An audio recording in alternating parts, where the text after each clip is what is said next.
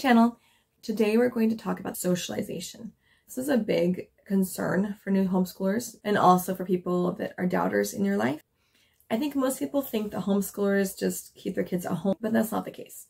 When you take your kids grocery shopping or to the doctor or the dentist or the post office, they get to see how you interact with people. They get to interact. You can do things like co-ops or different kinds of clubs, things like that. So socialization can happen every day or any day. And also you're going to be socializing with each other. Now, it is important for kids to learn how to make friends and pick up on social cues. These are things that can be taught by going to the playground or going to co-op or whatever. Don't worry about socialization too much. If your kid is very outgoing and loves to be around people, then just add more extracurriculars in. Add more outside activities in, into your homeschool week. You don't need to worry too much about how to socialize your children. That's kind of the first thing people always say when they hear you're homeschooling, but it's probably going to end up being one of the least of your worries, honestly. So I made a list of ways to socialize your kid with places to take them. So the first is sports. A lot of states let you take and put your child in different sports or activities or classes the school has even though you're homeschooling. So if your child loves to act or wants to learn how to sing or something, you can put them in school for just that one class. Homeschool kids are allowed to try out for sports teams and a lot of schools have other clubs as well. I've seen robotics clubs or crocheting club, chess club, coding club, all sorts of things. A drone club. And I don't know that you always have to stay in your school district. You might be able to go to other schools. For example, my town has three junior highs. So you might be able to go to different junior highs for classes as well. You just need to ask the school district and see what their rules are. If you don't want to go the school route, there's lots of sports teams outside of school. The only thing is I would try and find a non-competitive sports team. And what that means is that every kid gets equal amounts of time to play. I've seen some teams in my community where the kids aren't very good, have to sit on the bench the whole time. So that's that's demoralizing. And then the parents pay all that money and the kid doesn't get to play. Yeah, don't pick a team like that. Pick one where they want all the kids to improve and all the kids get to play. Dance classes are another great way to find socialization and friend opportunities for your kids. And dance classes, they have way more than ballet. They have tap, they've got swing, country, there's an Irish dancing one a couple towns over from me, square dancing, ballroom, all sorts of things. Community theater. Most communities have a theater that they want people in the community to try out and do plays. And if they don't want to try out, they could do things like be a stagehand or serve refreshments. There's lots of things you can do to get involved. You can do park playdates with friends or church members or other homeschoolers. A great way to find opportunities for you and your family is to type in the town you're in. Go to Facebook and type in the town you're in. So if you're in town Logantown. Type in Logantown Homeschoolers in Facebook, and if any are there, it will pop up. And you can join, and then you can see if there's any opportunities that you and your family would be interested in. You can also check towns around you as well, because they often will have different opportunities. You can join a co-op. There are many different kinds, from religious ones to secular, to all day, to four hours a day, all sorts of kinds. You could even start your own homeschool co-op if you wanted.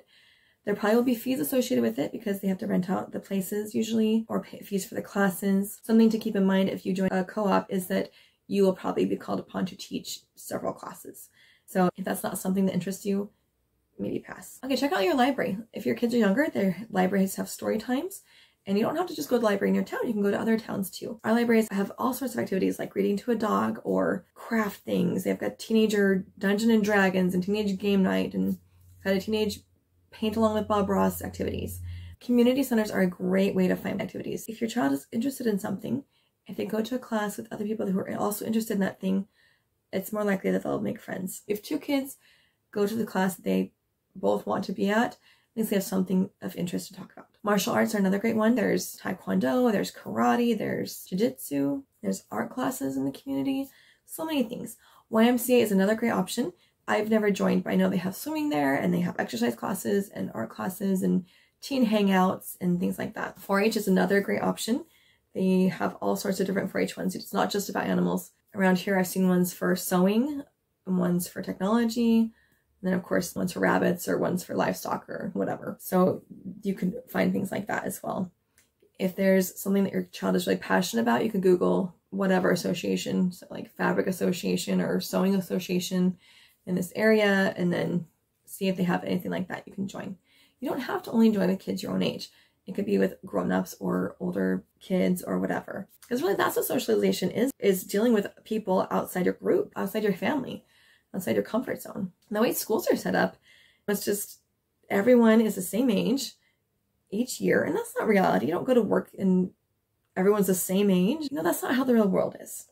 So if they can associate with different groups and different age groups, that's wonderful. My kids are in a homeschool strings group. So once a week they go and they do violin and some kids do cello and some kids do harp and, and it's really fun and everyone loves it. You know, different things are available around you. One mom in the town next to us she started a Pokemon meetup. So every other week, she just, I don't know, she rents the this little community center place and then the kids go and for two hours they sit and trade Pokemon cards and they love it. I think it's boring, but my kids like it. It's great. Lots of talking and learning bartering and trading. So there's all sorts of things to do. You as a mom or dad can also start things. You could have a monthly poetry tea time at your house or a monthly survival thing at your house, whatever you're passionate about, put out in the community. I'm sure other people would also like to come learn those things. Boy Scouts is another option, or Girl Scouts, or things like that. There's so many options available for your child to meet other people and learn social skills. So don't be put off by that question when you're homeschooling. Like, don't let that stop you. I hope this was helpful. Now, if you want to get some ideas for field trips, clear, clear for the next video. And please like and subscribe. I'll see you next time.